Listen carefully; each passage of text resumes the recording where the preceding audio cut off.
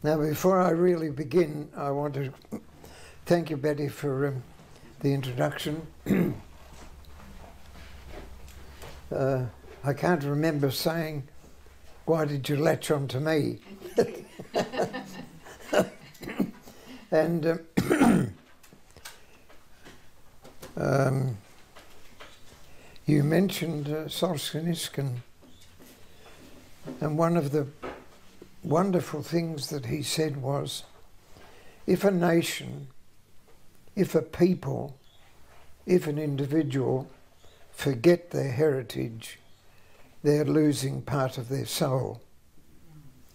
And that's, to me, extremely important um, observation. In the name of God, Father, Son, and Holy Spirit. Amen. I have come this morning from celebrating the heartbeat of the church's life, the Holy Eucharist, the Mass. And it's in that great celebration at the altar of God that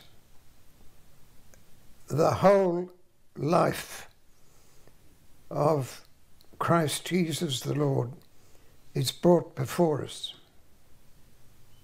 His incarnation, which I shall be talking about more fully, and his life, his teaching, his very being,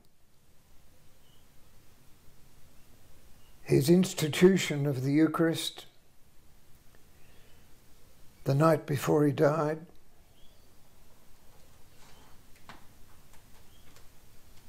His journey along the way of Calvary to the cross, the commitment that he made uh, to the blessed John the Apostle to look after his mother and his command to his mother to look after his son, uh, John as a son. And then his resurrection. But remember, he proclaimed the victory on the cross. That's where the victory was proclaimed. The resurrection was necessary for us, was not necessary for him, because he was not bound by the limitations that we know. And that victory became apparent not so much in the empty tomb.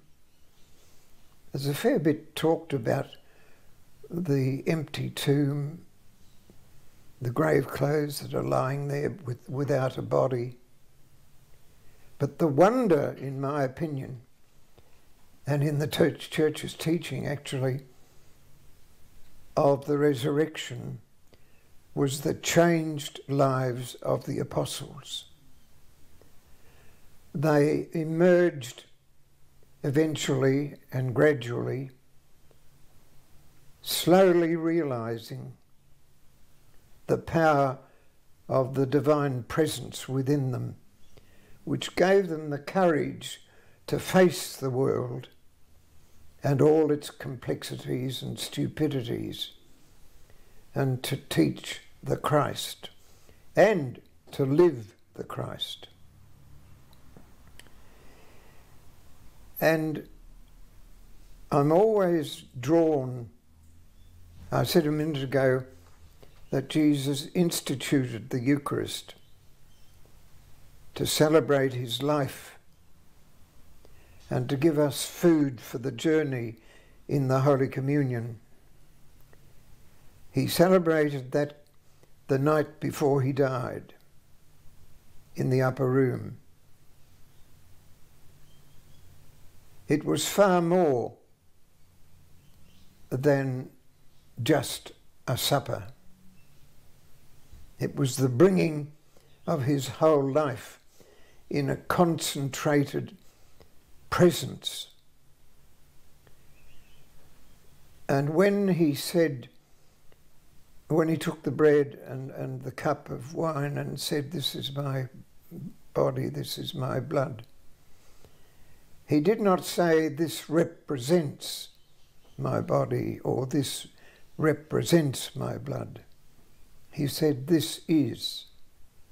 In other words, his true and real presence came among us in a special way at the celebration of the Eucharist. And not only did it institute the Eucharist, but he celebrated the first Eucharist on earth at, at Emmaus. You remember on Easter night, two of the disciples were walking down about 20 furlongs from Jerusalem to Emmaus, and they were confused at what had happened, totally confused. And this stranger appeared whom they didn't recognize. And he said to them, What are you talking about? And uh, he said to them,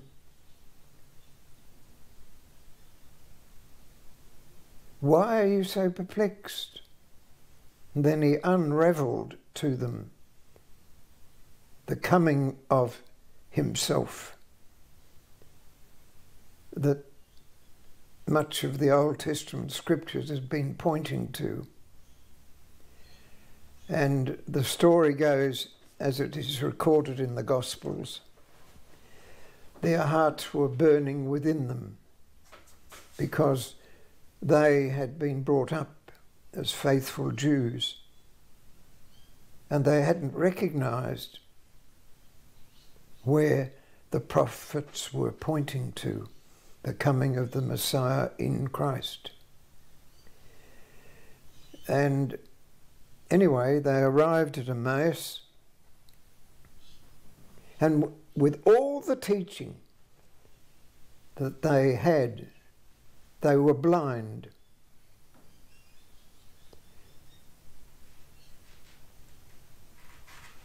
And then when they insisted that he stay with them. Of course, it was all divinely planned, no doubt.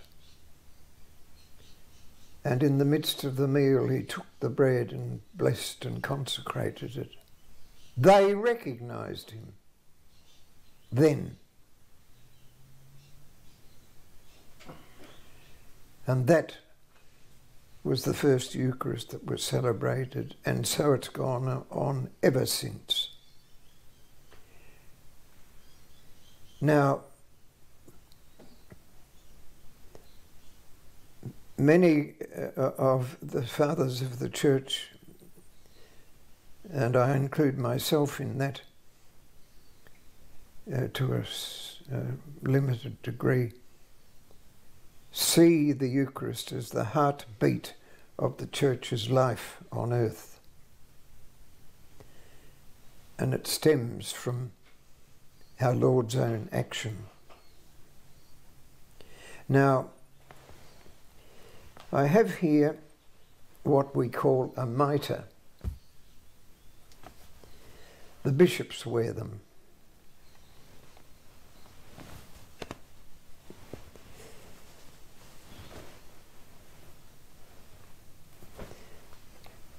It reminds us of the tongues of fire that descended upon the apostles on the Feast of Pentecost when Jesus promised them the gift of the Spirit.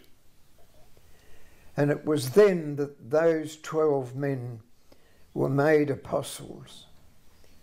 And it was on them that he founded the church. And the mitre is worn by bishops because they are in the apostolic succession and linked directly back to the apostles. And the mitre represents the tongue of fire that came and sat upon each of them. It's interesting, this was made for me by a priest. The Greek letter for Jesus Christ. The fish, the sign, the first sign very early on to uh, remind people they were Christian. And when, during those Roman persecutions, the Christians would mark the sign of a fish on the ground, and someone, if they were a Christian, uh, they would recognize the other person. And that, an early symbol of the Holy Mother of Jesus. The rose, another symbol of the Holy Mother, are the seven gifts of the Spirit and the seven fruits of the Spirit.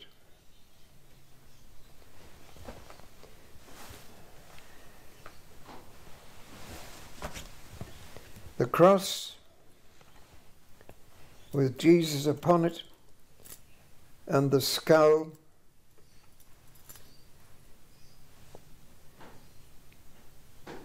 the dove representing the descent of the Holy Spirit, the angels representing heaven and the communion of saints, the Holy Mother,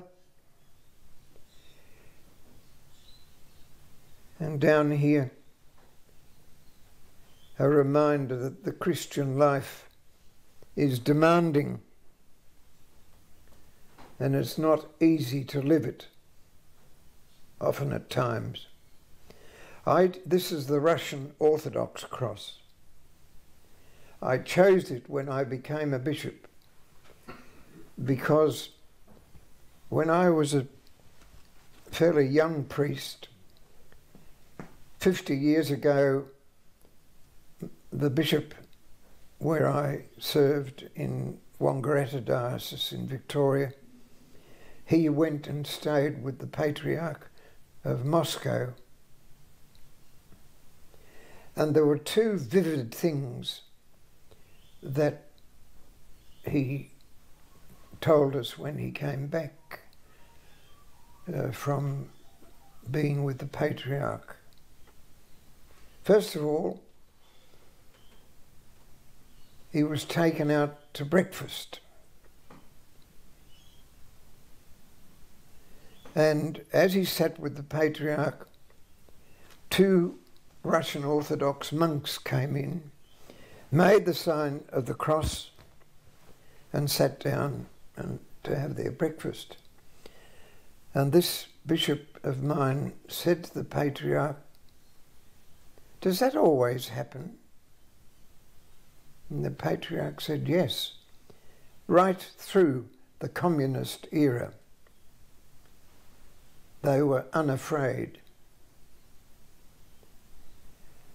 And the, the next thing that the patriarch told uh, my bishop was it was the grandmothers that kept the faith alive in their grandchildren when the communist atheistic regime was flourishing. And I, it hit me very forcibly. So that's why I wear the Russian Orthodox cross as my bishop's pectoral cross, because it reminds it reminds me of the faith of people despite their surroundings and the likelihood of losing their lives. And it reminds me of the faithfulness of those who pass on the faith. Now, we're living in, I guess, no more dangerous times than when I was born 85 years ago and when I became a priest 60 years ago and when I was consecrated a bishop 33 years ago. These times are not that much different. However, as you well know, the whole spiritual inner vitality and wholeness of people is being lost because not only are so many children have no concept of the wholeness of life, the inner spiritual drive. They have no concept of it. But sadly, many of their parents haven't either. They've got, they've steered away. They don't see it as uh, of any relevance. But that inner faith is what not only matures our life, but it also disciplines it. You imagine if there were no traffic rules. It's bad enough when hoons get on the road and misbehave and think they're immortal. But if there were no traffic rules, no traffic lights, no driving on the right side of the road, the correct side of the road, there would be chaos, far more than there is now. Now, our life is a disciplined life. Our very bodies operate like that. And when they don't function correctly, we know the consequences.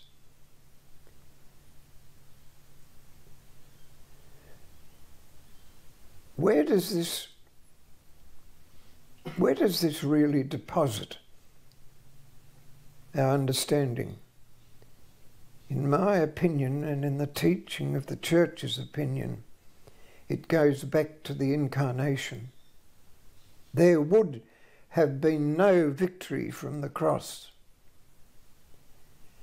And our Lord would not have been able to accept the Father's will in the Garden of Gethsemane the night before he died, unless he had been truly God and truly man. The Church proclaims it in its creeds in its formulas, in its teaching. But it's the it's God becoming man in our human nature that is the center of the church's life. And on that, everything else hinges. Now, it's true that the, there is a divine presence in creation all around us. In the animals, I have no doubt about that. God is present in the way that He has chosen in the whole of creation, in our own lives. in the various ways that he cho- chooses to bring us that presence, to make us alive to that presence, but in a very, very special way and unique way. He chose the Holy Mother Mary of Nazareth to bear his son in the world. and those wonderful words of the Creed and was incarnate of the Holy Spirit and the Virgin Mary and became man and lived among us. And so the divine took our human nature into himself and placed his divine nature specially in Jesus, his Son. And the incarnation, the coming of Jesus as God and man, enshrines and lifts our human nature out of itself, as it were, and gives us the divine imprimatur, makes us not just mere uh, materialistic beings, but a human being that has been impregnated with the divine presence. And there can't be a true wholeness of life, a true well being, unless one accepts that Spirit of God that is within us. You know, I've been listening over Radio National over the past month or so. And there have been a number of commentators about science and the scientists. And more and more of the scientists now are recognizing that there is a limit beyond which they can't go with their scientific experiments. Why? Because they are recognizing more and more the, the mystery and wonder of something beyond themselves. And my friends, that's what the Christian faith and the authentic churches celebrate when they gather at the altar of God around the Eucharist. There is Jesus in his incarnation, his life, teaching, death, and resurrection, concentrated for us to breathe in the wonder of God. One of the prayers uh, that I use when I've been confirming people into the faith is to fill the candidate's Heavenly Father with a love of your holy name, with the truth and justice that you give and encourage in mankind, and fill them with wonder and awe in your presence. We've lost that to a great extent. And yet, it's the wonder and awe, the mystery of life beyond what we call life that brings us into focus and makes us see that Jesus is alive amongst us through and by his incarnation so that our human nature is beyond itself a presence of God in the world. Don't underestimate the mystery and wonder of God. Don't underestimate the inner reality that faith brings ever before us. Don't ask me to explain what faith is. because I don't know. It's a mystery that I hope and believe I shall discover when I reach heaven. But it's real. And the more real it becomes in our lives, the stronger and the more wholesome is our well being as we journey through life.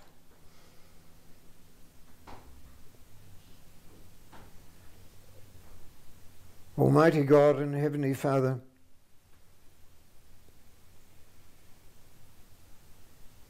you created your Son, born of a human mother, so that he might not only share our human nature, but also bring our human nature into union with yourself. We praise and magnify your holy name. Amen.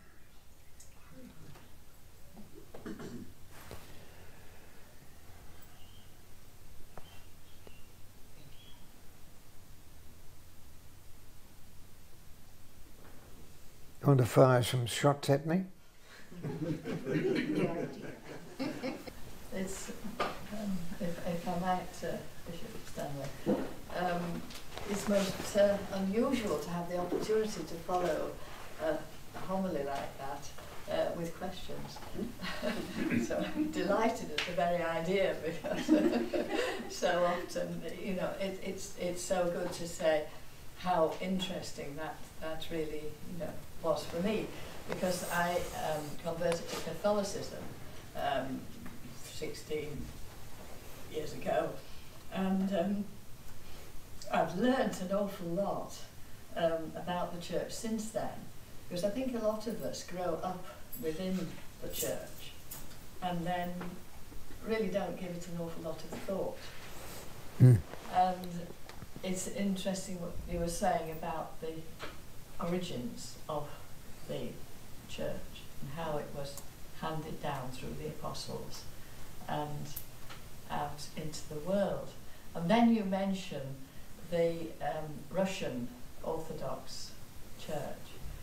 Um, I, am wondering whether you can explain a little bit more about the worldwide church, because of course we have the Catholic Church with the, the Pope at the head, and then the Anglican, and then we have the Eastern Orthodox. Um, in the town where I come from, in, in Keighley, we have a large number of Kerala Indians who've now come across from there, and they um, celebrate a different rite, but that is also accepted as part of the church.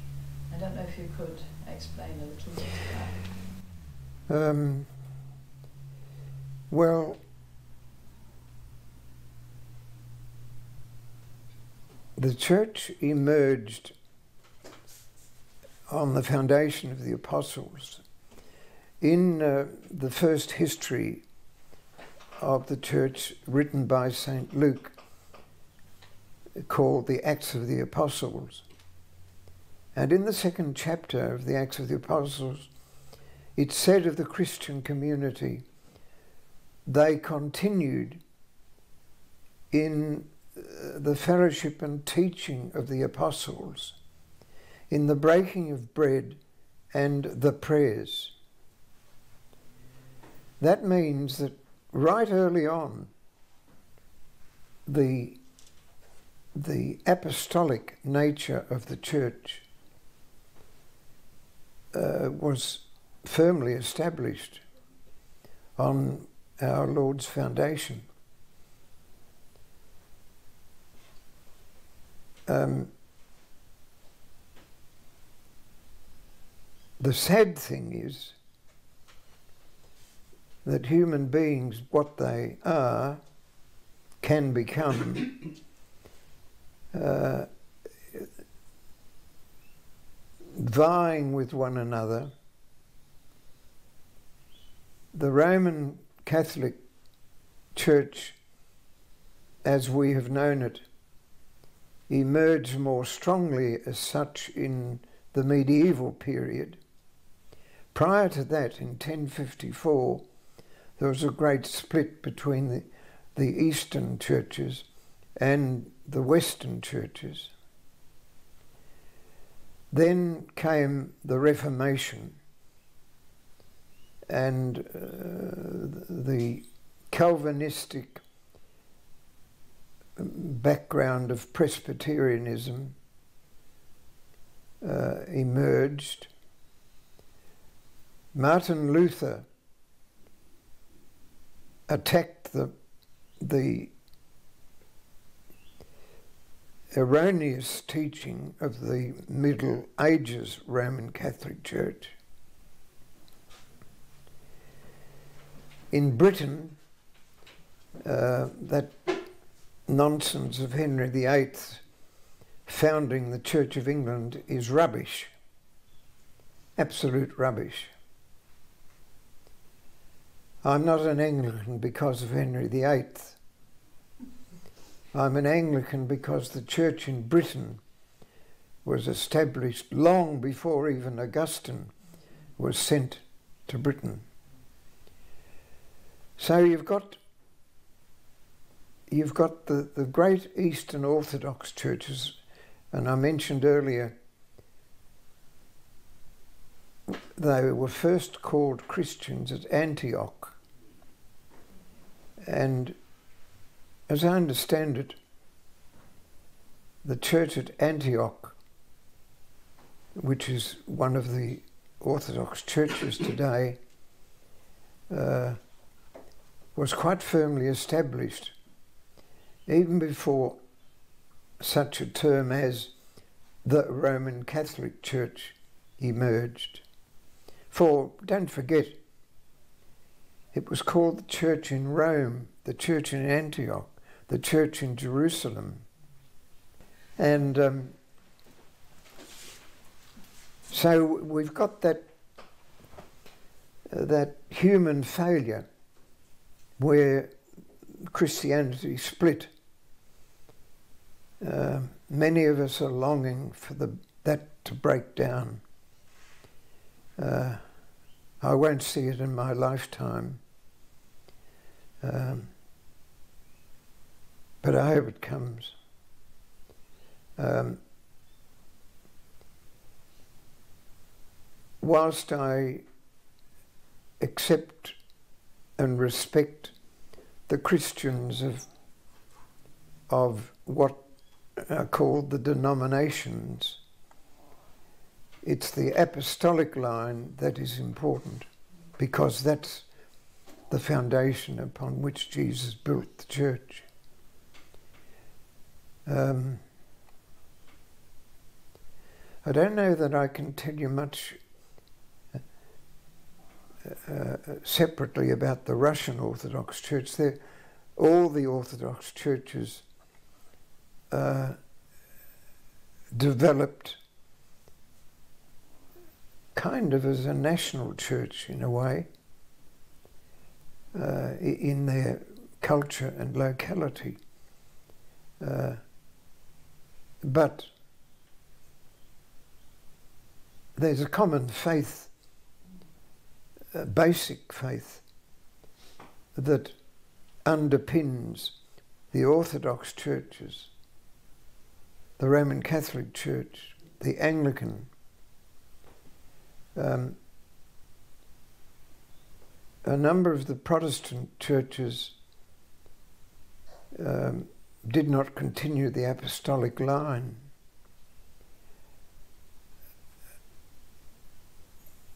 Even it was in Britain things had got in a bad way. And in 1833 was what is known as the Catholic Revival, when the Oxford movement came into being and woke the church up to its Catholic and Apostolic heritage. John Wesley saw the dreadful chaos, pathos of the church, and he broke the bounds of, of the diocesan scene and went through the country. But he pleaded with his followers not to leave the church, and he remained a priest of the Church of England uh, till he died. Um, the the term Methodist was brought into being by the followers of John Wesley because they, in those early days, they were methodical in their celebration of the Eucharist, in their daily prayers, in regular confession, and in the administration of the other sacraments of the church. That's why they were called Methodists. They were methodical in following the teaching of the church. However, that's, uh, that's all part of the background. Um, I don't know whether that answers your question or not, but it does. It does very well indeed. Um, I, I, I, I have more optimism about the, the, the, the way in which the, the church has developed than, than, than, than you have. I see it already as being in a form of unity. Mm. Um, I think somebody said, uh, somebody in the Catholic faith um, said, thank God for the Reformation.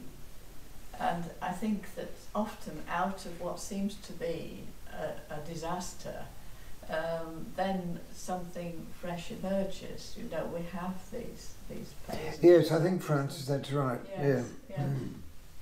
yeah. Thank you.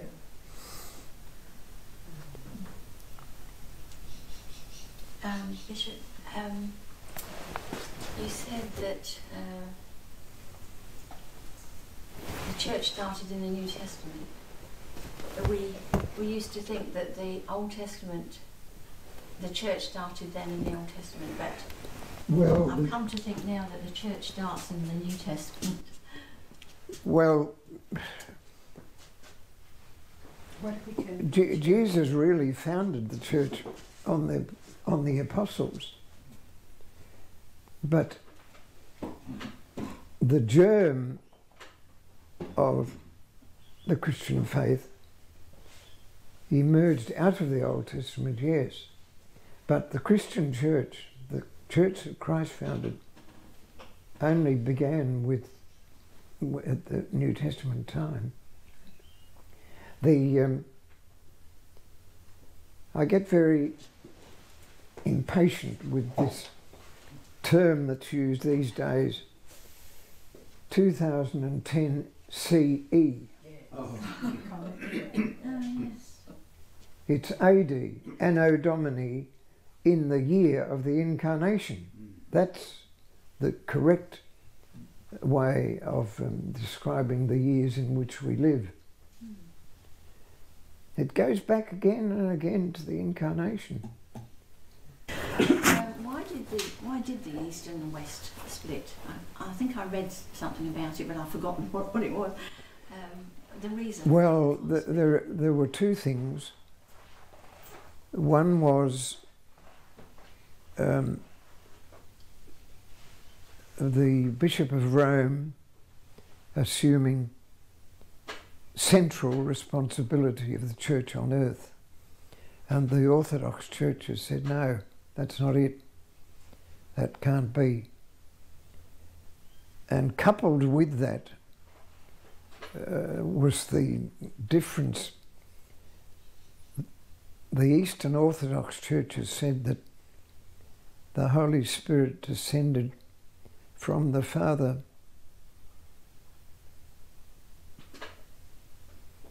And in the West, we've been inclined to believe that the Holy Spirit came from the Father through the Son. It's called the filioque clause, and it's it's hassling with, I think, incidentals. Personally, it's just nonsense. Um, the Father is God, the Son is God, the Holy Spirit is God. Yet there are not three gods, but one God. I have a question, Bishop. Um, I remember talking to a, a lady who's um, very, very new a Christian, and she said that she always thinks of Jesus on the cross, bleeding on the cross. I said to her, it was my understanding, certainly at the time, and I still, a little bit so, I said, well, what we should think of is think of the cross as a symbol of Christ, but Christ is not on the cross now. No. And it says, and that's more important than thinking about Jesus on the cross. Think of where he was and what he did on the cross, and not the symbol of him on the cross. What do you say to that? Yeah, I, I'm a great believer in the crucifix, that is, Christ on the cross, but only because it was from the cross that he proclaimed the victory. Mm. And that's important. Yes, yeah. That I don't see I don't dwell on the the bearing of sin on behalf of the world anything like I do that he chose the victory. Death is no more. It is finished. It's finished. That's hard to accept. And I hear a lot of nonsense said by even practicing Christians at the time of the death of their loved ones. But Christ has conquered death. It cannot hold any, any power over us.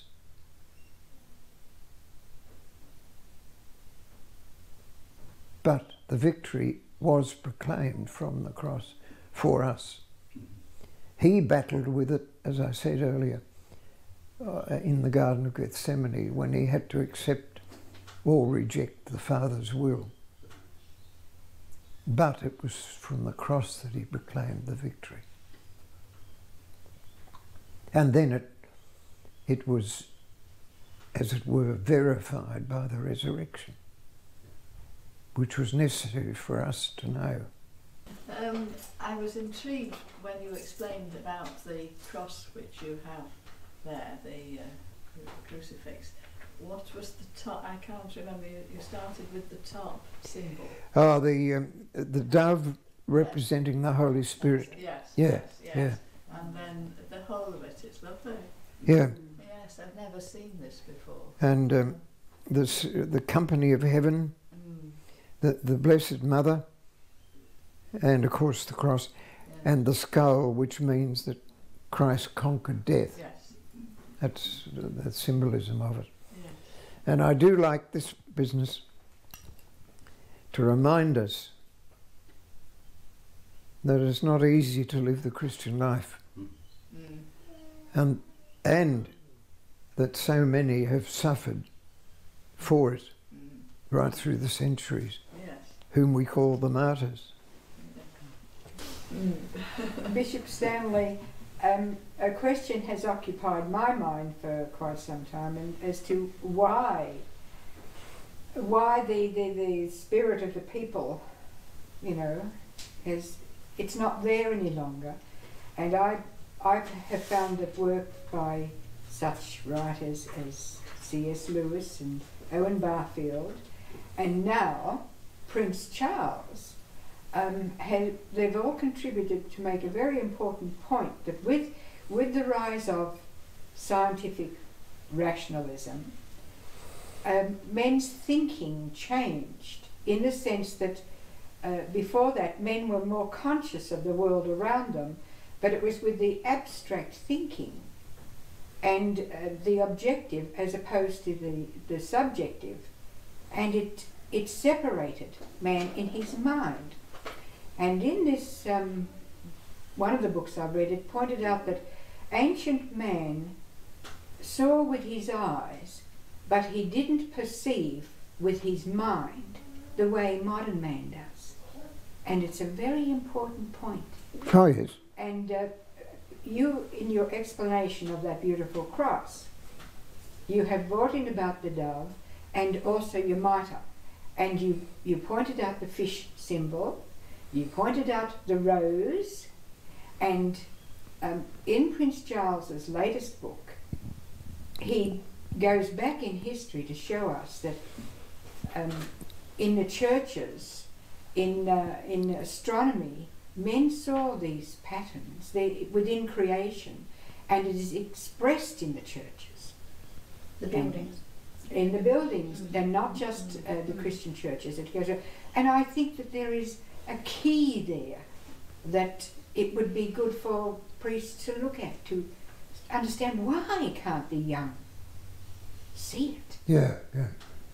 Mm-hmm. I think it's that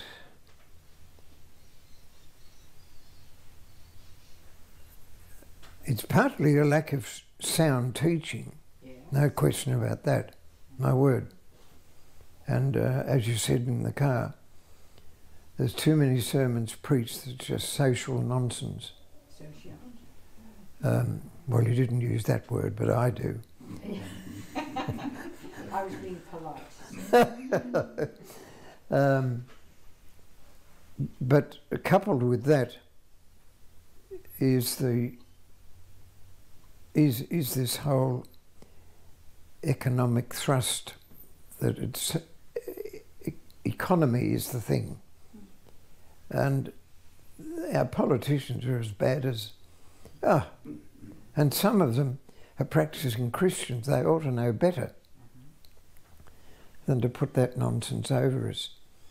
Uh, but and the young, they're plagued, aren't they, with uh, with the endless television uh, programs and advertisements. They're fill- their minds are filled with materialism. How often do you see a decent program on the inner spiritual life? I don't recall one. I don't recall one. Um, I, I hope the tide turns. History has a, a way of repeating itself and turning, and perhaps that will happen. Hopefully, it will. Um, I think there's a. I used to say uh, in Australia we haven't suffered for our faith like in other countries. And until we do, um, uh, we won't be purified in the fire. Uh, but um, I don't know. This materialism is all over the world, even in basic Christian countries. Not sure. I don't know the answer to that. Um, I think, Bishop, thank you um, for these very useful insights and uh, just following your your train of thought. Um, I, have written about rational economic man in, in many different ways and try to bring the humour in because it's so unlike real real life. But I, I think I would be a little bit more optimistic than you're sounding at the moment. Good, good, place to hear but I would say that the church has a lot to answer for. Oh, my word. Yes. My word. Um, because the time when people really, you know, the, the, the, they grow up within the materialistic world, um, but it's when they have children that they begin to suddenly realise that there is something more. But of course, there are pressures now to be both working full time in order to get the money coming yes. in. Yeah. Uh, and um, it, it, it is a case of re really um, looking for ways of reaching the young family, the very young family, um, because they're often a period when the mother takes maternity leave, and as we were talking about the other day, and um, and at that time, I think there are opportunities for like mother and toddler groups within the church, which can introduce them. This is what we've found happening within the Anglican Church, more than the Catholic Church. The Catholic Church is extremely bad at, uh, at, at, at taking account of, of, of family life. You know, it, it, it, you know, it's just we are the we, we are the church and you come to us. and I, I don't know if, if within Australia you have this kind of mother and toddler provision, which. Uh, the, the, the what? Mother and toddler, where, where, where the, the mothers come with the baby, you know, when they've got young babies and they can meet together within the church and perhaps have opportunity for prayers we've found that this has been particularly successful in then bringing um, bringing the young families into uh, during the week during the day um, in, into an association with the church and then they've often followed it up. Yeah. I, you see, I lived my entire ministry, even as a bishop of a diocese, living amongst the people. It was almost unheard of for a bishop to go and actually visit the homes of the ordinary people. But I did it. Time and again, it used to, my registrar used to scream because he needed me in the office to sign documents or to do this or do that. But I was out there amongst, living with my priests and my people um, visiting, visiting, visiting, right through my priesthood years. But the priests are not doing it anymore. Mm. Under the guise that you might be um, accused of molesting someone. Mm. I realise that, but but the priests are not doing it. Um, and that's part of the danger uh, that's before us. That therefore, um, young families don't know their priest. Um, I I used to love uh, bringing the children around the altar and me sitting in a chair or on the step and talking to them. But I'll never, uh, there are some funny things, it's not relevant, but I remember one very hot morning at Yarrawonga where I was for 13 years and built a beautiful church there. And um, uh, we were in the old church before the new one was built. There were about a hundred people present at that particular mass and um, and uh, I was standing at the altar facing God, as I like to say, not the people. and uh, and um, and I had my Eucharistic vestments on, uh, but nothing much underneath. and uh, the uh, all of a sudden there's a fiddling around at the back of my robes, uh, which I didn't realize at the time.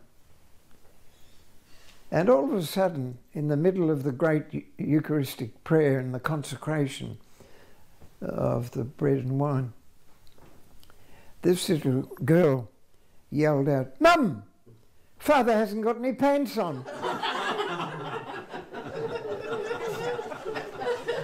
and and I might, I might tell you something.